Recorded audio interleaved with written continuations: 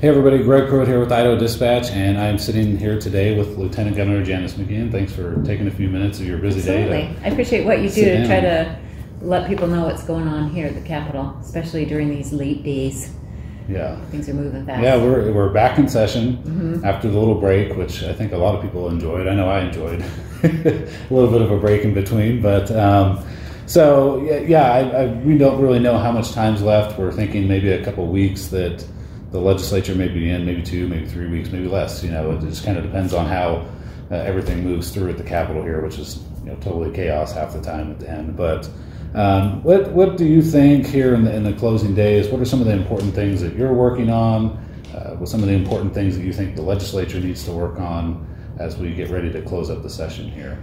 Well, Greg, what I think is so fascinating that I see happening right now is this growing public awareness of what's happening in our schools, uh, starting in uh, K 12, even pre K, and then for sure in our universities, this social justice agenda and the critical race theory that we're learning more and more about some of these things that have been in our higher edu- higher educational institutions for a, for a few years, but maybe people haven't really been have been it hasn't been brought to the public awareness like it has just recently. I mean, the we we hosted a session in Capital Clarity one day, bringing this to light, and I know other organizations have been bringing this to light, and we're hearing that. In fact, th- there was a poll that was put out there that showed that the high majority of people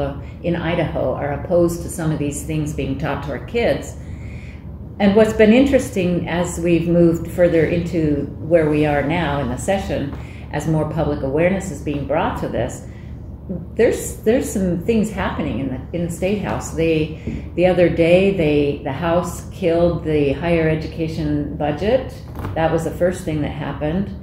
Actually, that was the second thing that happened. The first thing that happened was they the House killed a bill on a six million dollar grant to to you know start up a pre-K program that by an organization that was um, purported to be supporting some of these ideas. And then today, what happened on the House? They they voted down the education budget in the classroom because they don't they don't want to support, have money that supports those teachings, and we want to we want to support our teachers, and that's where some of the false narrative is coming out. That that's why they're sending the bill back, and they're going to put intent language in there to protect the funding for our our school teachers, but really focus on the curriculum that's happening in in our schools, and because of a lot of this attention that has been brought forward and and I'm hearing from people all across the state as I travel around the same thing. What is Idaho doing to protect our students and our young people? So I last week put out a, an announcement that we're going to assemble a task force, and it'll. Uh, we're still putting the, some ideas together and how we're going to conduct that, and I'll be happy to talk to you when.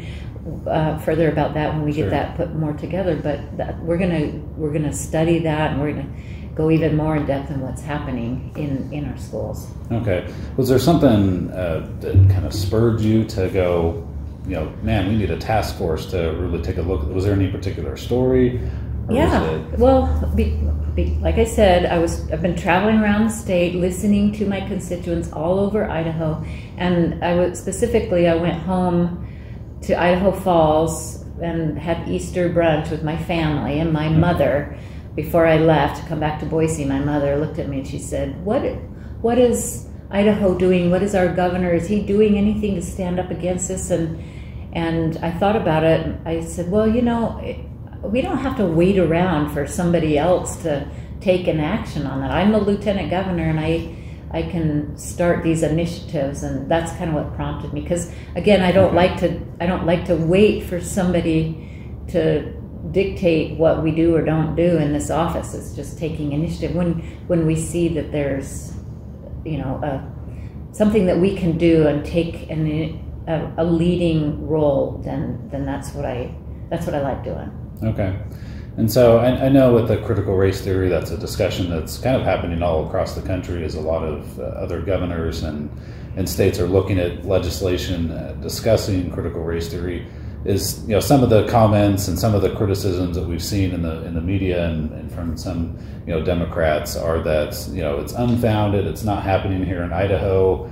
You know, there's no examples you can show us in Idaho that that, that that's happening. Is, is that true, or is there is some of that stuff happening right here in Idaho? Well, I can tell you that they it is happening because since we put our press relief release out there and we've started soliciting people from across the state their interest to serve on this.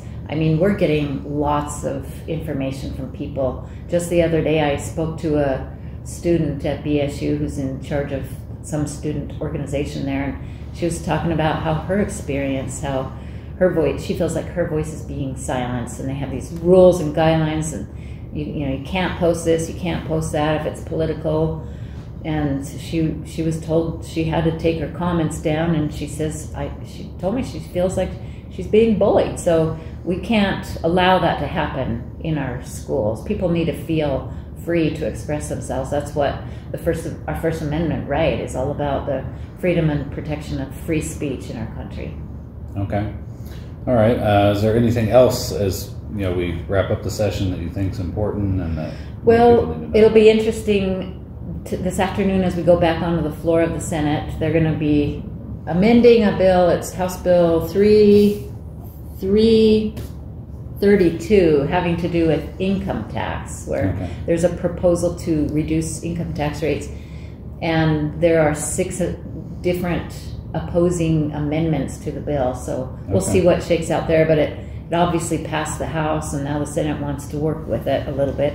So we'll see what happens there. I think that's so far the only meaningful tax relief that I know of that's going to come out of the session. And then the Senate has to, well, the Senate and the House have to agree on how they're going to deal with this almost $8 billion additional that is maybe working its way back to Idaho through the Biden recent stimulus plan. So okay. uh, they, have got to come to agree, agreement on how they're going to deal with that and then then they should be able to wrap up and go home. Okay. So overall, I mean, do you have an overall feeling about the session and how you think it's gone so far? Do you think the people of Idaho have, you know, gotten a lot of the things that they have wanted, or is there a lot to to go still? I've I've been frustrated, to be honest with you, about the lack of progress on what I consider some of the real important bills having to do with the constitutional balance of power between the legislative and the executive branch of government. There were two bills that, that passed on the Senate floor last Friday, and we'll, people are waiting to see uh, what's going to happen with those when they get delivered to the gentleman on the second floor's desk. But um, so slow progress on that. The there's still nothing on the uh, the resolution for the legislature to call itself back into into session during during times of crisis, and so and then the protection of the individual and our citizens about our right to provide for our families and worship freely. It's just they they had a special session in August and made all these promises to the people of Idaho, and I don't know why by the first of January when they all came back they couldn't have had language that they all agreed to and just put it through and have it go to the desk of the gentleman on the second floor and just have that be the have been the very first thing they dealt with. And here we are, 12 weeks in and still waiting to see what happens on that. Yeah. The gentleman on the second floor is the governor, by the way, for those unfamiliar with that phrasing. But um, yeah. okay. Well, I appreciate you sitting down. Do you have any uh, message for Idahoans uh, as we wrap up the session? And I say keep up the good work because the people of Idaho are paying attention. They're fed up with politics as usual here, even here in Idaho, and we your voice is making a difference. So uh, continue to reach out and touch, you know, communicate with your elected officials and uh, speak up because you are you are making a difference, and I appreciate the people of Idaho feeling like they're they're they've got some important things to address and and they're being listened to. Okay, awesome. Well, thank you, Lieutenant Governor. And get that gun bill get that Small Arm Protection Act put into law to protect us from the radical gun grabbers in Washington, D.C. Okay. Okay. All right. Thank you. I appreciate it.